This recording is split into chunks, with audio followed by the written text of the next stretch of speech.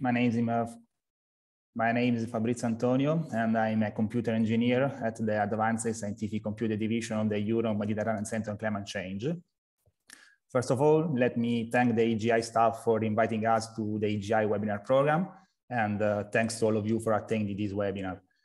On behalf of the ENES Data Space team, I'll give you today an overview of the ENES Data Space, one of the data space services supported by the EGI ACE project.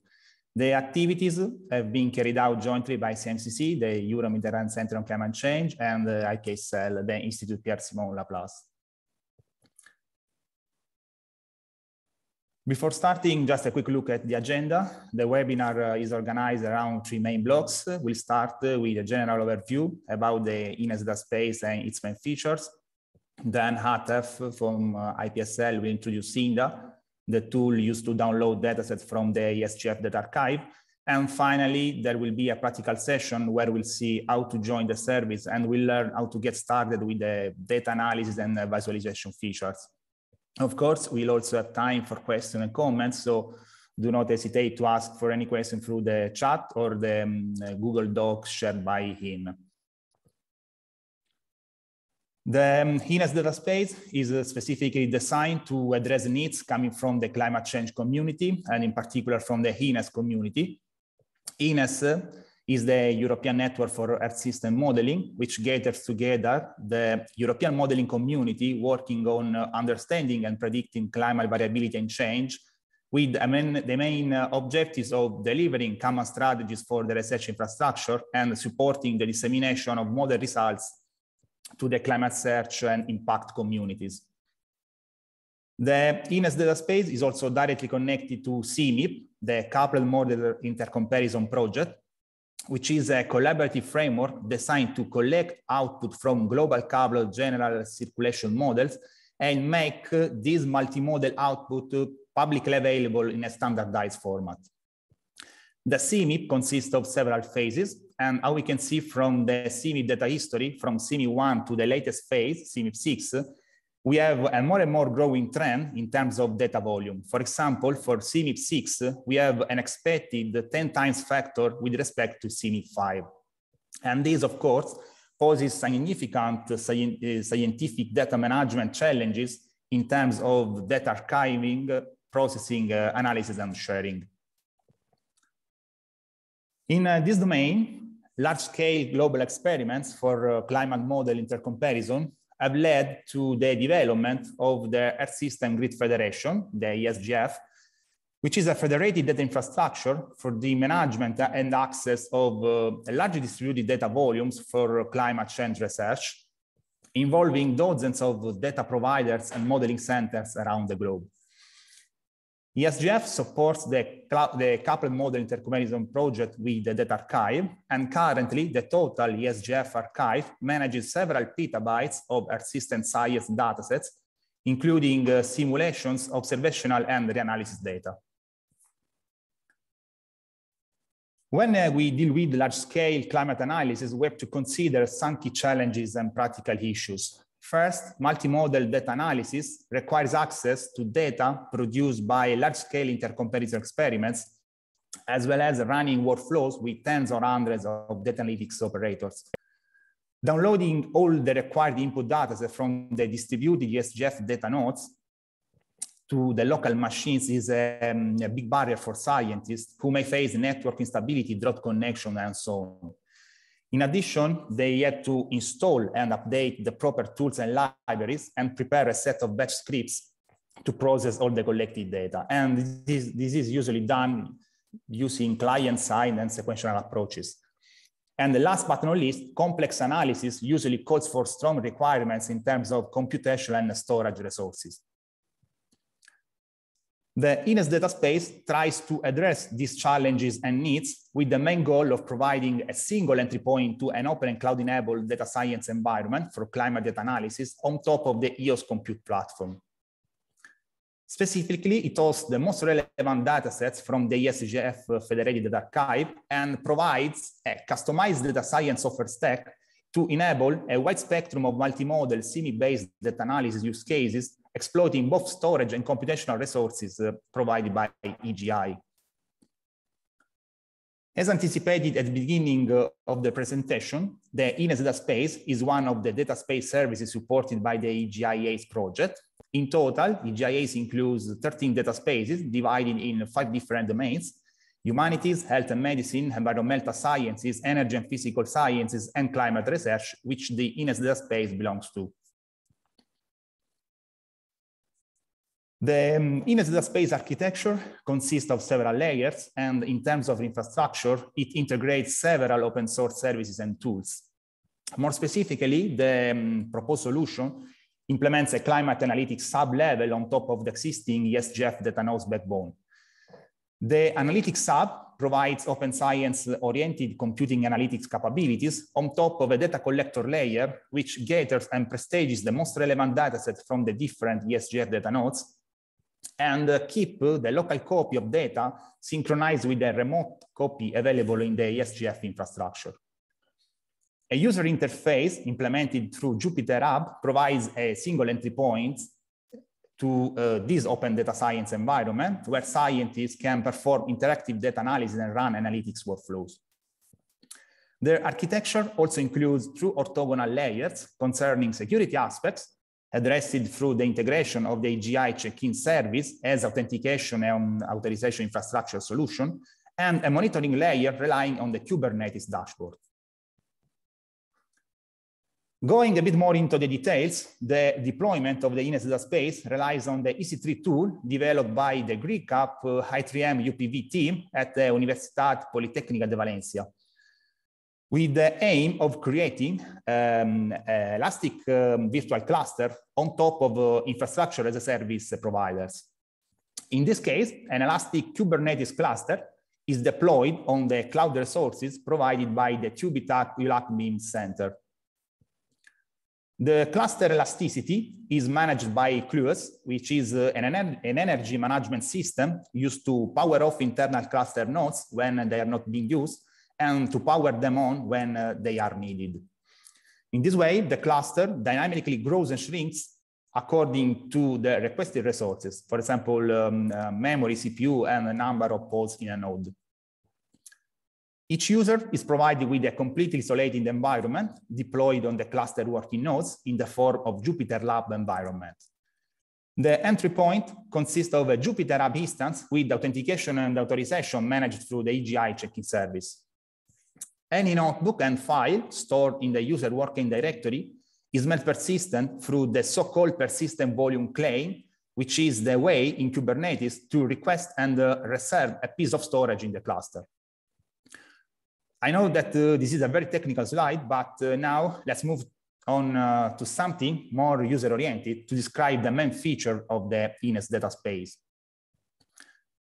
As shown in the previous slide, a Jupyter Hub instance is used to give access to computational environments and resources without burdening the users with installation and maintenance tasks. To access the service in a uniform and easy way, the ENES data space integrates the EGI check-in service, which acts as a central hub to connect federated identity providers with EGI service providers. In this way, you are able to authenticate with the credentials provided by the identity provider of your own organization, for example, via Edugain, as well as with the EGI single sign-on or using uh, social identity providers like Facebook, Google, LinkedIn, ORCID. In addition, to meet the fine-grained authorization requirements, we created a dedicated virtual organization called vo.enes.org which can be simply considered as a group of users sharing resources across the EGI federation. So to access the ENES data space service, you first have to create an EGI account, then join our VO using the enrollment URL provided in this slide. But uh, don't worry for the moment, uh, since we'll see this procedure in detail during the demo session. The computing environment relies on uh, Jupyter Lab, which represents the next generation user interface for Project Jupyter, offering all the familiar building blocks of the classic uh, Jupyter notebook. So notebook, terminal, text editor, file browser, and so on, in a flexible and powerful user interface. This environment comes with uh, a set of open source Python modules and community-based tools that I'm going to show you in a while.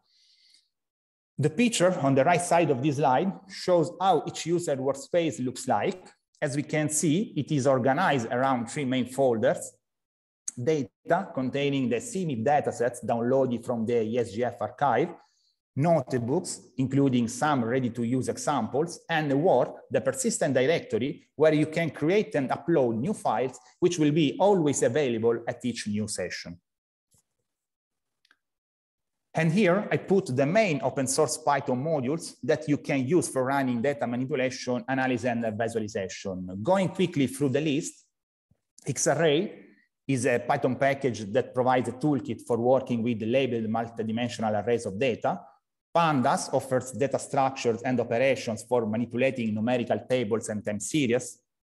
NumPy offers comprehensive mathematical functions, linear algebra, routines, and much more. SciPy provides algorithms for optimization, integration, interpolation, statistics, and many other classes of problems. And for data visualization, we have the matplotlib module, which allows the creation of static, uh, animated, and interactive uh, visualization in Python, and CartoPy, which is a Python package designed for geospatial data, geospatial data processing, and uh, in order to produce maps and other uh, geospatial data analysis. And we'll see in practice how to exploit these libraries and tools in uh, the demo session. The ENES data space also includes the Ophidia high performance data analytics framework as a solution for scientific data management. Ophidia is a complete open source solution used to perform scientific data analytics by means of HPC paradigms and in-memory based big data approaches. It provides support for parallel in-memory server-side data analysis and um, an internal storage model to manage multidimensional datasets. In addition, Ophidia comes with a programmatic interface for the framework called PyOphidia, which is an open source Python library allowing a programmable integration of the Ophidia operators into more articulated and shareable data science applications.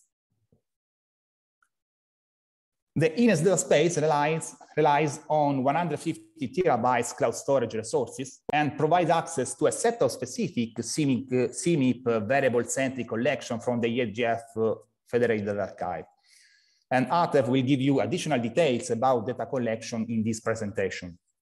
In general, before loading data and analyzing it, you may need to know what datasets are available the attributes describing each dataset, and how you can select and, and access a specific dataset. Intake-ESM is a data cataloging utility built on top of uh, Intake, Pandas, and Xarray, and uh, is specifically designed for parsing and executing queries against an Earth system model catalog. In this way, it is possible to search and discover the available CMIP datasets and load the desired data assets, basically NetCDF files, into Xarray datasets as well as into the Ophidia workspace. The ENES data space provides a web portal where you can find all the information to get started with the service.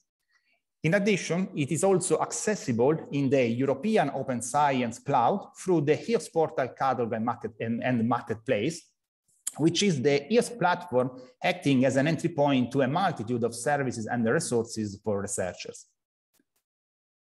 And here are some useful links to find out more about some of the discussed topics. And now I leave the floor to Atef, who will talk about Synda and the data management. Thank you.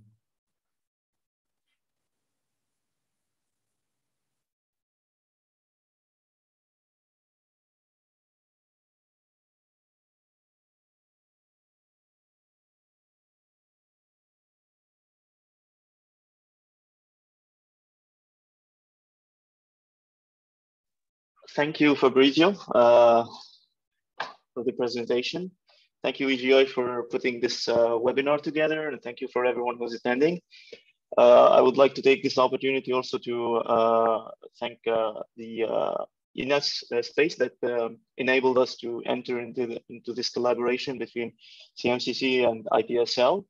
Uh, this was a great opportunity to get uh, new uh, objectives done, uh, as I will discuss in this presentation briefly. So my presentation will be uh, less technical than the one Fabrizio did. I will basically don't, I will not enter into deep details technical wise, but I will provide the links towards the uh, technical documents, and I will also provide my own contact information in case anyone is interested in getting a deeper uh, either explanation of what happens behind the scenes or want to get involved into the development. Uh, I have to highlight the fact that all our development is open source and uh, we can we uh, uh, we are open to any collaboration or any contribution happening from uh, any part of the world. We are always happy to get any help that we can get. So with that said, today I will be talking a little bit about the data space, the nature of the data that we have provided within the ENES data space, as well as the tool set that we have either used to, um, to uh, download and replicate the data from the ESGF, also the tools that will be available to you users because this data comes from ESGF. So that will also be interesting uh, to you as well, I think. So in brief, I will not uh, talk a lot about the uh, data because Fabrizio already introduced it. We are dealing with the, uh, data that is uh, coming from the CMIP phase six in particular, which started in, um, in planning in 2013, but uh, distribution began back in 2018. So this is the most recent uh, exercise of the coupled model intercomparison project. Uh, and the CMIP uh, 6, it, uh, it is a, a group of 23, 23 MIPS that is produced from 33 modeling groups from 16 different countries. So this is a huge uh, commitment from uh, international commitment. And today we are uh, around a bit in excess of 26 petabytes, if I'm not um, completely mistaken. So this will be available for public use through the ESGF network, like uh, Fabrizio just uh, described earlier, which is basically a group of international data nodes that is uh, all around, around the world. Now, what you see in this uh, graph is a map of the different uh, nodes that we have um, declared within the ESGF uh, federation, but you have to keep in mind that the ESGF federation have uh, different tiers of members. So we have members that are tier one, and we have members that are tier two and tier three. And basically, tier one are the most uh, in, uh, implicated uh, nodes that offer uh, data node uh, capability, so they can host data in their storage and they can have indexation. So they have Sol Apache Solr that provide people the ability to search for data. And sometimes they even have computational data. So this is just um, a, small detail. Uh, the ESGF Federation has been operational since 2011. And since then, there have been a lot of uh, development to, in order to make this more publicly uh, accessible, more uh, user friendly, which is not very easy because we are dealing with huge amounts of data. So we have this compromise between being functional, fast, being able to handle a large amount of data. And on the other hand, we want to be able to serve as many people as we can, which is not ideal, which is why spaces like the ENES data space uh, that can bring the data into some place that is very close to computational uh, capabilities is something very important. So it removes that complexity that the researcher has to go the extra length of understanding what is ESGF, how to download data from ESGF, where who to talk to, etc., etc., which can be complicated. And I know that because I have been involved within ESGF since 2015. So it's been more than seven years now. And I still sometimes struggle with uh, the technical um, issues that this federation sometimes has, which is something that is uh, completely understandable for a project that this size and uh, uh, that is very also um, the fact that it is internationally uh, held, it's not very easy to handle. Sometimes we have problems with uh, international issues such as the Brexit uh, recently, we had less um, implication from the US counterparts because they had their fund, funding uh, reduced, et cetera, et cetera. So these are challenges that we have to deal with on daily basis. And this is something that the ENES data space uh, wants to uh, omit and makes it easier for researchers not to deal with.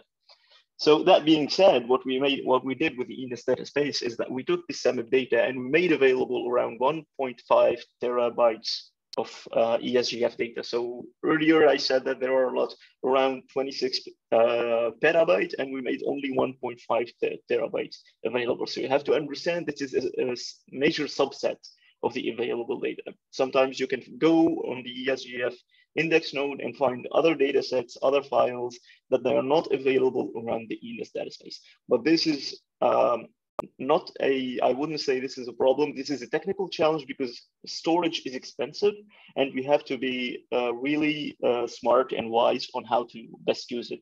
And to do this, we relied on the experience of another data manager at CNRS IPSL, who is not with us today, but I represent the same institute, who is Guillaume Levasseur, who has been a data manager at IPSL for more than 10 years so uh, we use the experience that he has from the user requests on the data that they are using in their day-to-day -day research in order to uh, try to subset the data that will be most useful to you researchers with the least storage possible. So what we did is we took the variables, uh, the temperature at the surface, precipitation, the eastward near surface wind, the near surface humidity, the near, sur uh, uh, near surface humidity, basically, and we took them in two different frequencies, monthly mainly. So that's the most, the hugest bulk of the data will be in the frequency of monthly.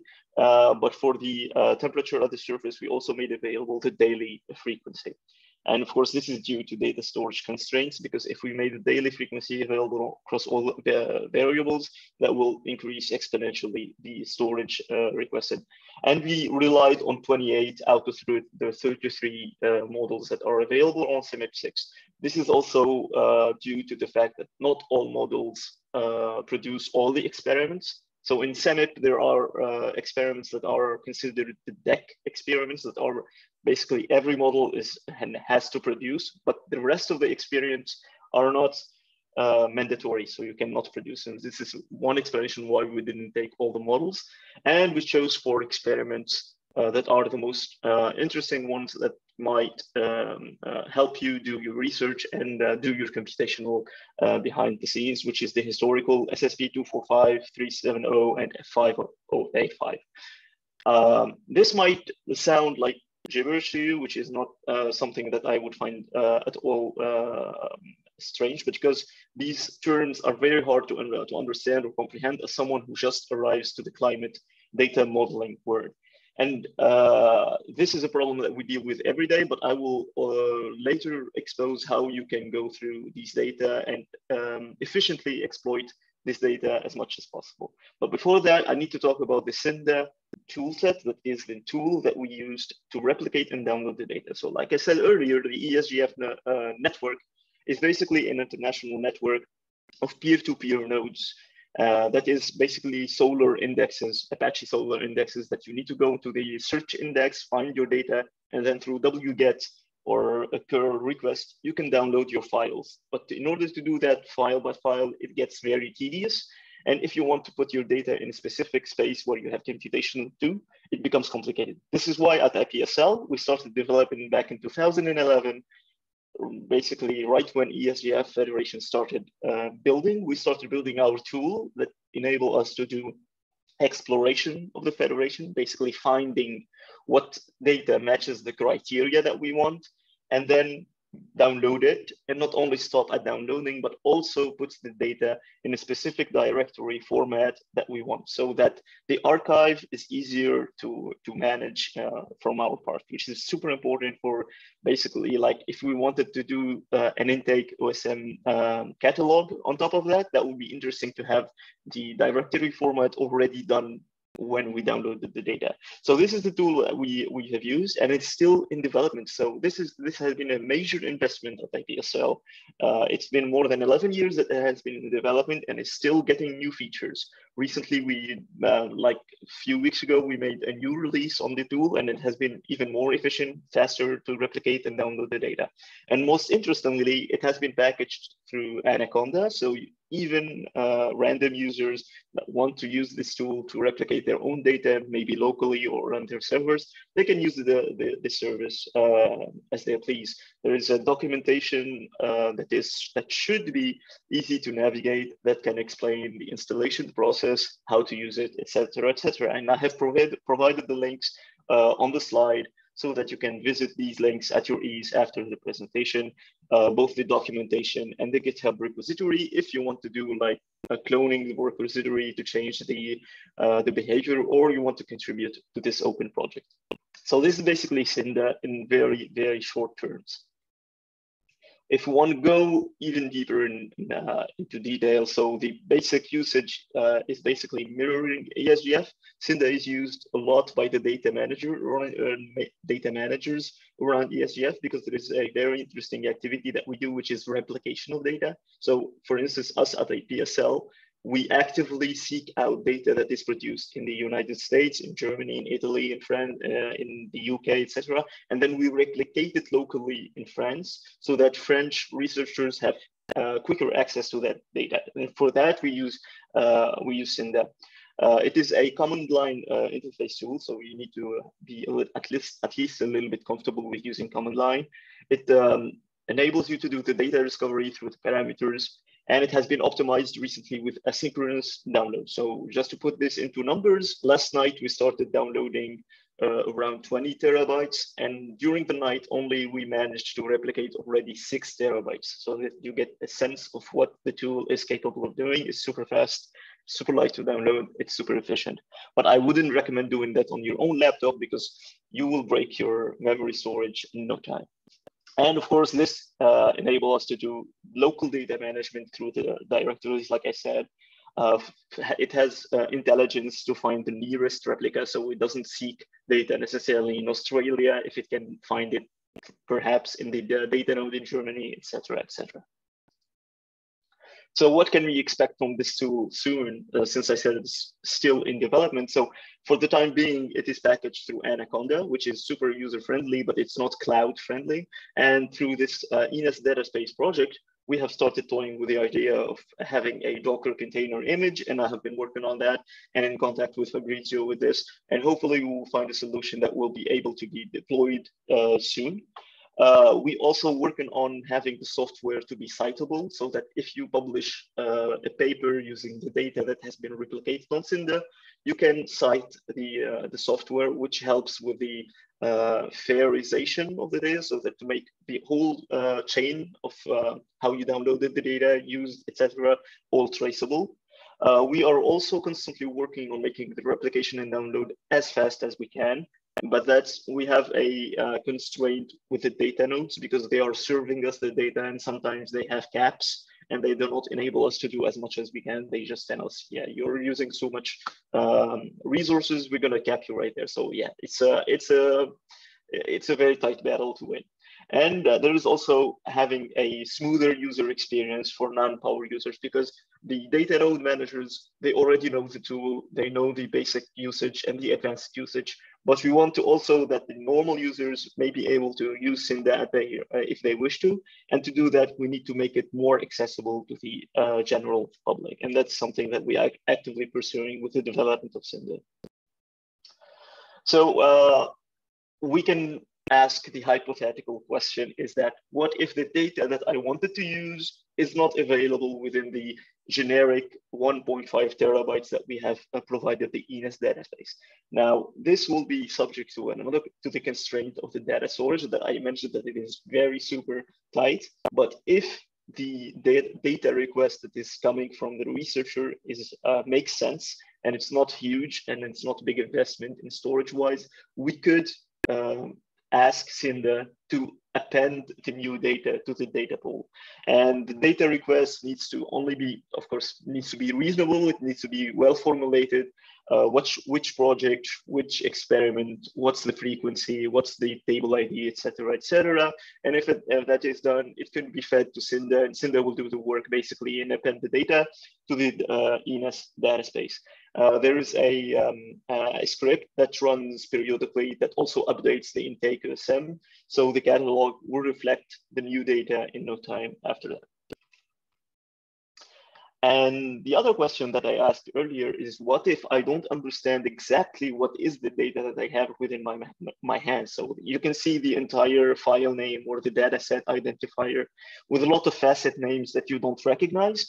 So uh, to do that, luckily, since this data comes from ESGF, we already have a tool set that is uh, documenting this data that can be used by the ENES DataSpace users as well, which comes from the Earth system documentation. So basically, this is a hub for documentation tools uh, that is that could be all linked from the main website that is esdoc.org. Uh, we have an explorer that enables you to explore all the terms uh, at your own ease through a web interface. And we also have the ES-DOC search, which enables you also to search the terms, to find their documentation, and to find the different definitions of each facet, etc., etc. You can find the longer name that can also maybe ring a bell. And if that does not answer your question, you can find the entire description, the papers that have been published around that facet, etc., etc. Another question that could be asked is, what if I find something wrong with my data, which is something very, very possible to err as a human. So you can find uh, a net file that has maybe the vectors that are inverted on production or something like that. So when you find that, generally speaking, the best ideal thing to do would be to notify the data manager, which contact you can find in every file that you deal with. But if you want to also check whether the data that you have in hand is safe to use or not, and I say safe to use, I don't mean that there is dangerous to use data, but you can uh, be, uh, you want to make sure that the data that you have doesn't have any known issues. And to do that, we have a also an issue tracker that is specific to ESGF data uh, that is accessible through the link errata.es-doc.org. It has basically an index of all the known issues that have been published on ESGF and also has an interface that enables you to search your files programmatically or through a user interface to find whether your data is affected by a known issue or not. Versions are very important for the ESGF data. So um, a newer version that has been um, published to ESGF generally means that the older version has an issue. And when that's done, the data provider, generally speaking, needs to create an errata to describe why the newer data has been published. So you have the motivation, description, the severity of the issue, and whether or not the use of the previous version is discouraged or not, uh, which is uh, in 99% of the cases, uh, there is no discouragement of using the data, but you just be, need to be warned that there is maybe a metadata that is not right or something like that. Uh, so this tool is also still under the constant development, which is something that we do at IPSL. And it is a huge investment on our part. And we, for the time being, for non-authenticated users, so for the general public, it's uh, available on read only. So you cannot create new issues like you do on GitHub, but we are working to soon make it open for general public um, to create issues that will be moderated afterwards from the data providers. So that's it for my part. Uh, I know there is a lot of dense information that is uh, that has been presented here. I tried to make it as non-technical as possible, and I provided all the links about all the things that I have mentioned in my presentation, mainly the Synda GitHub rep repository, where you will find all the required information, documentation, source code, etc. The errata, the ES-DOC repo, which will have all the documentation hub. And finally, I put the ESGF landing page that can ping you towards all the ESGF nodes that are implied within the ESGF uh, project. Uh, the links that I have mentioned should be uh, up and running. And if you need any help whatsoever into using these data, uh, you can contact me on my email. I will try my best either to answer your questions or point you to the right towards the right direction for the person that will answer that question for you. Uh, that's it for me. Uh, Fabrizio, I hand the, the screen to you. Let me share again my screen.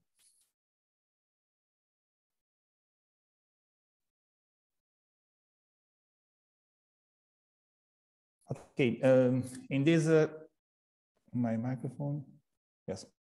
Uh, in this last block of the webinar, we learn how to join the ENES data space service and uh, how to get started with some of the Python modules available in the computing environment. As shown in one of the last slides of the first presentation, the ENES data space provides a web portal that you can access through the URL on the bottom of this slide. The home page contains general information about the service and its main features. The um, notebook section is a gallery showing the ready-to-use example that you can find in your uh, workspace within the corresponding folder. And uh, the access section will guide you through all the steps needed to access the service. The registration process consists of two main steps. First, you need to sign up for an account for accessing the EGI services. Here, you can use the preferred identity provider, and uh, as part of this process, you will be assigned a personal unique EGI ID, which will be then used across all uh, the EGI tools and, and, services. And then you need to join the um, ENES virtual organization. To do that, you can follow the link shared in the slide in point through, fill in the compilation form, and wait for the approval by the VO manager. Then you will be notified by email after, uh, and after that, you should be able to log in to the service through the URL provided in uh, point three. And now let's move to the practical part of the webinar, where we'll see how to exploit Intake-ESM to search and load CMIP6 datasets and uh, how to exploit Ophidia and its Python bindings PyOphidia to perform a climate data analysis. And uh, here, just um, some useful links um, about the main services and tools involved in the activities. So let me switch to the other uh, window.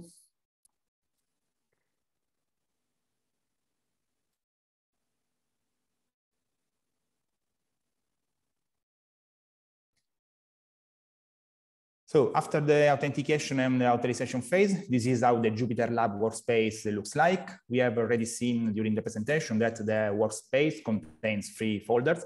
And in particular, as you can see, the data folder contains the CMIP datasets organized according to the directory structure defined for CMIP6.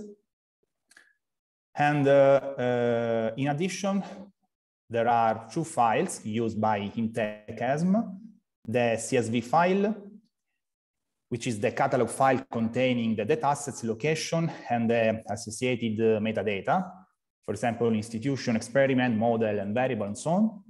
And uh, the JSON file, uh, which is the ESM collection definition file, where we need to link the catalog file and provide a set of controlled vocabularies, each one corresponding to a metadata field, the data asset um, uh, field, basically the path um, to the NetCDF uh, data files in our case, and uh, uh, an aggregation control block to specify how the query results should be merged and concatenated into the resulting datasets. And all this information provided in the, in the input JSON file tell us uh, what we expect to find inside the catalog and how to open it. Now let's start with the first notebook, uh, where as anticipated, we'll learn how to use Intake-ESM and in addition, how to exploit Xarray, Matplotlib, and uh, Cartopy to perform a very simple analysis and show the result on a map. To learn more about Xarray, you can have a look at the Quick Start Xarray Matplotlib notebook under the notebook folder, which provides several examples on how to easily manipulate a sample dataset with Xarray and show the result with Matplotlib. So here, as first step, uh, import, we import the intake module, and then uh, we have uh, to open the collection definition file, which is the JSON file located under the data folder in uh, the home directory. To do that, we use the um, open uh, ESM data store function. In this way, uh, Intake-ESM will establish a link to the database that is the um, CSV file containing the data assets location and the associated metadata. The catalog file is um, updated daily according to the um, data download plan, while the collection definition file is uh, created by the administrator. So uh, knowing where it is and loading it is enough to search and discover data through Intake-ESM.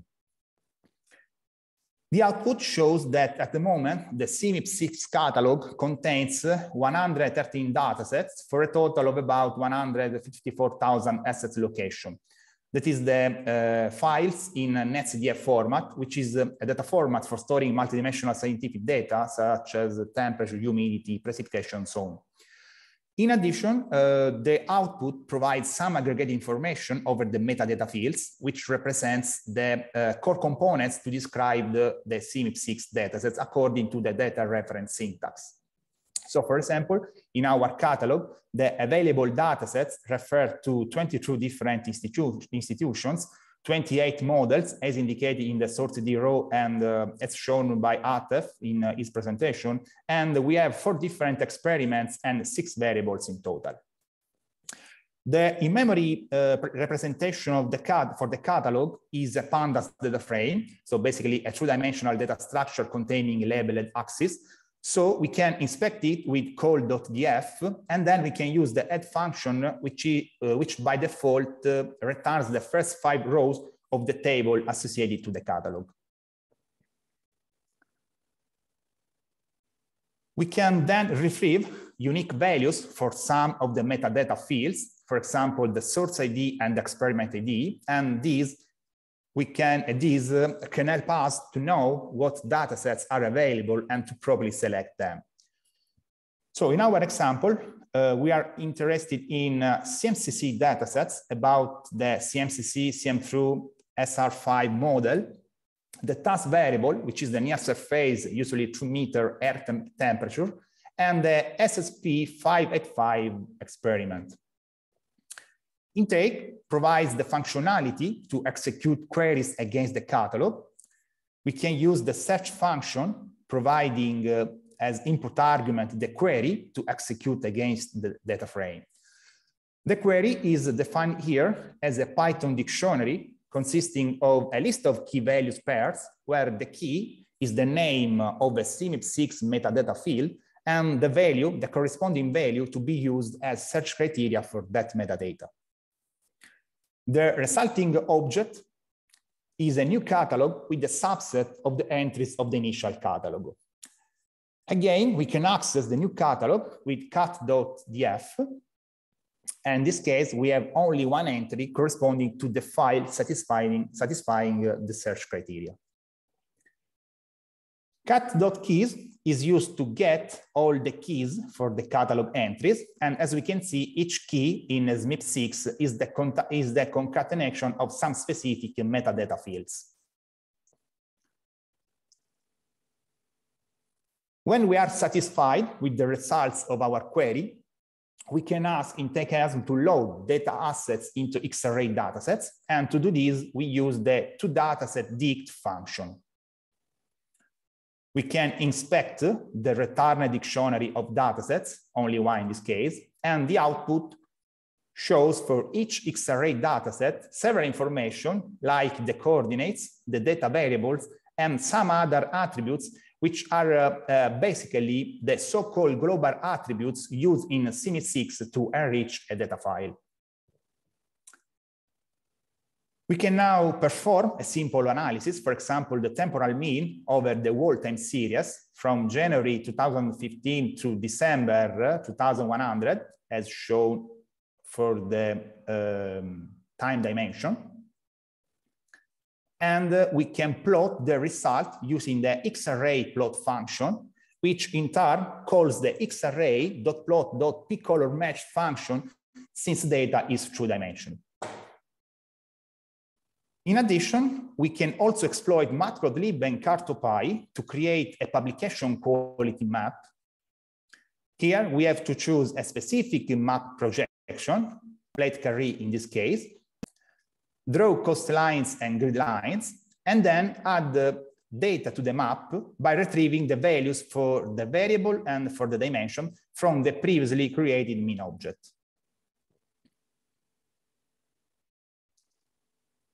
And this is uh, the resulting map related to the temporal mean calculated for the near surface air temperature over the whole time series available in the dataset we selected.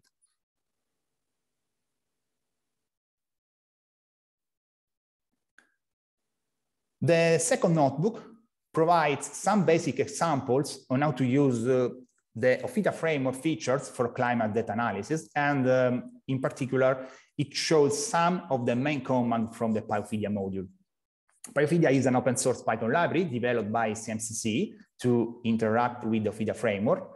and it represents the uh, programmatic interface for the framework.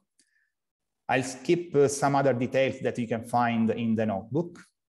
So in, um, um, in this first cell, we are importing the PyOphidia module, which consists uh, of two main classes, the client class and the cube class. And before uh, submitting any command, we need to set up a connection with the Ophidia server. And to do that, we can use the set client class method and uh, set redeem to true to automatically retrieve the connection argument from the environment. After running this cell, uh, we have uh, uh, some information about the, um, the user session. Once the connection has been set up, we can call all the instance and class method of the cube model to submit the corresponding operator on the Ophidia server-side components.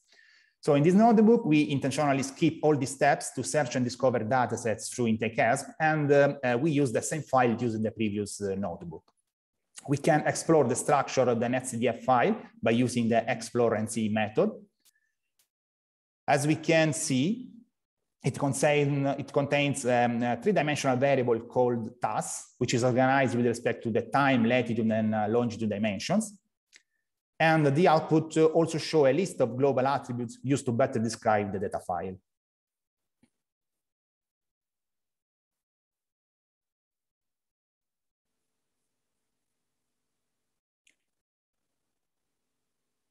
To create a new data cube from uh, an netcdf file, we'll use the import and see through method, which is a wrapper of the OPH uh, import and see through operator, which relies on the IO server to perform parallel IO with the underlying storage system. Here, we are specifying through the intim argument that we want to import data so that the values on the array are organized according to the time dimension. And uh, this is important uh, um, since uh, um, we improve the efficiency of the analysis that we are going to run. We need to specify the path where the file is located, the name of the measure related to the, Nets, to the netcdf file, and uh, uh, we can also add a short description for the cube is being imported. The method creates a new data cube on uh, the Ophidia server-side components and um, um, at this stage, nothing is being read from uh, the file on the notebook since the mycube object just contains a reference to the cube available on the server side. To inspect the cube structure and its dimension, uh, as well as um, how uh, it, is, it has been partitioned, we can run the info method on the mycube object. The, the output also show the data size and the number of elements while the uh, dimension information table shows the uh, cube dimensions and their sizes. We can also inspect the virtual file system with the list method. This shows that uh, we have uh, one uh, data cube in the user uh, space created with the previous import command. The PID provides a persistent unique identifier associated to this cube, while the description argument using the import helps to relate each data cube to the corresponding operator in a more mnemonic way. Once the first uh, cube has been created, we can uh, run the Ophidia analytics uh, operator to process data. In um, this cell, we are performing a subset of the original cube on the time dimension by using the dimension indexes as uh, specified with the subset dims and subset type arguments. And in particular, we want to, we want to extract the first 60 time steps as indicated in the subset filter argument. The method will create a new data cube object on the server-side components without modifying the original one.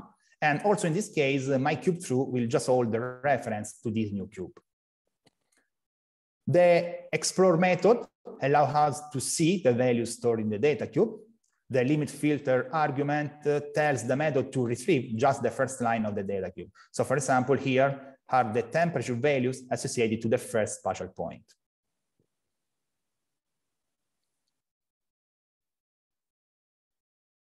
The method also allows specifying a subset filter, as in the subset method, in order to inspect only the values we are interested in. Here, for example, we are displaying the temperature values for eight spatial points and four timestamps for each of them. Note that the uh, subset dims argument is now set to a pipe separated list of dimensions, and the same is for the subset filter argument. Let's now perform a data reduction operation on the subsetted cube to compute, for example, the maximum over the whole time series. We can do that by using the reduce method. The uh, operation argument is used to specify that we want to compute the maximum over the array. And now we can uh, use the results produced by the data reduction operation to get a map. The uh, export array method allows moving uh, the data from the server-side components into a Python-friendly structure on the notebook. And uh, this data can then easily use, can be easily used with other Python libraries such as Cartopy, Matplotlib, and uh, NumPy. As we can see in the picture, the returned structure is basically a Python dictionary with two main keys, measure and dimension, the measure contains a single subdictionary filled with the variable values organized according to the, the dimension order. And the dimension key contains multiple subdictionary, one for each dimension, the uh, latitude and longitude in our case. And this, for example, is the output related to the dimension value extracted from the mycube3 object with the values for the latitude and longitude dimensions. In uh, this cell, we implement a function using Cartopy and Matplotlib for the plotting and the NumPy for minor adjustment to the data structure. And then uh, we are using the measure and the dimension keys to access the values uh, of the exported uh, data. And this is the corresponding map.